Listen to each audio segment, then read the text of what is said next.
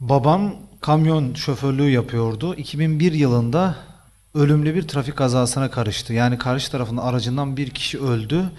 E şunu özellikle sormak istiyorum demiş.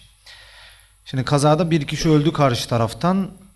Bizim de fidye olarak onlara ödeyecek bir taraf e, durum maddi durumumuz yok, yeterli değil. Acaba şimdiye kadar ödediğimiz veya o ana kadar ödediğimiz trafik sigortaları fidye yerine geçer mi? Çünkü sigorta şirketi ölen kişiye 20 bin lira ödüyor diyor.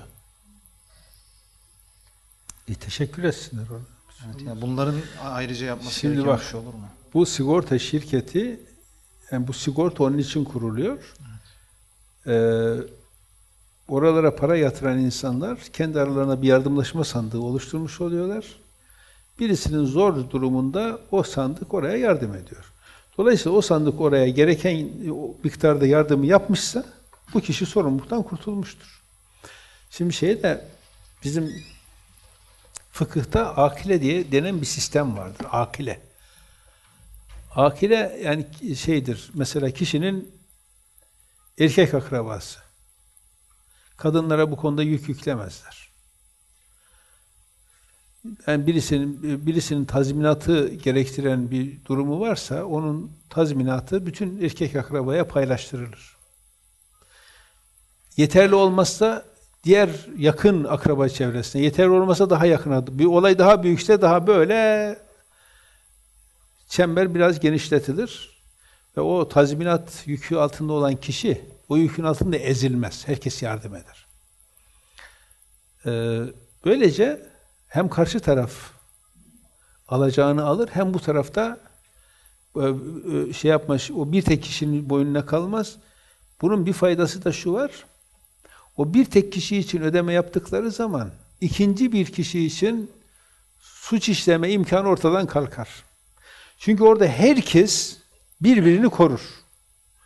O, o toplumda hiçbir kimse hız sınırını aşamaz mesela trafikte.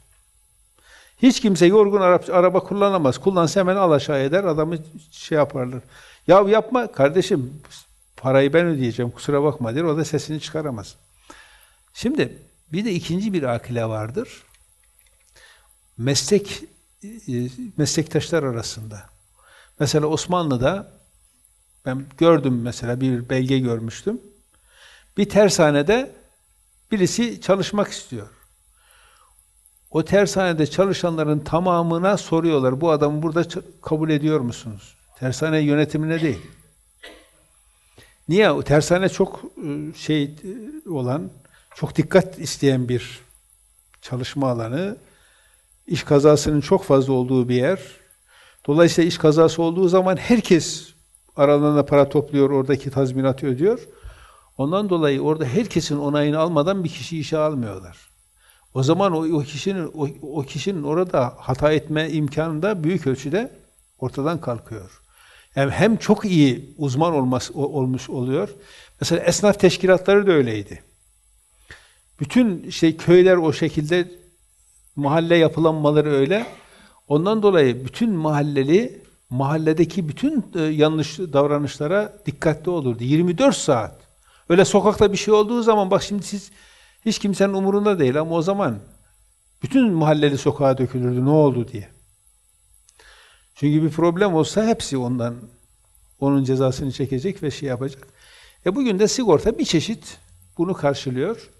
O sigortaya para yatıran insanlar diyor ki bizden birisine bir şey olursa işte e, ölümlü olursa şuna şu kadar yardım. Yani bunun biliyorsunuz genel kuralı var. Dolayısıyla o yapılan yardım eğer yeterli miktardaysa bu insanların ödemesi sayılır. Ya da karşı tarafta zaten bağışlamışsa problem yok.